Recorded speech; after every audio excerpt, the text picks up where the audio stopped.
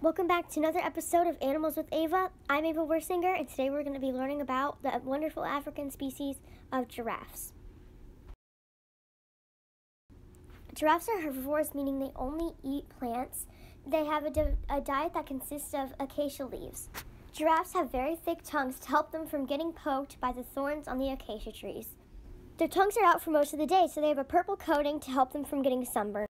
Because giraffes are such big animals, they have to bend all the way down just to get a drink, and it looks pretty funky if you ask me. When giraffes run away from their only natural predator, the lion, they can run at a top speed of 37 miles per hour, so they're not lunch. Did you know giraffes could walk 30 minutes after they're born? I could only walk 11 months after I was born. Wow, giraffes are pretty cool. Male giraffes leave their moms after 18 months of living, then start an all male herd.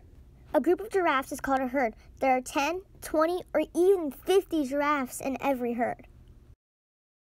Thanks for watching. I'm Ava Wersinger. Be sure to like, subscribe for more animal videos. Bye!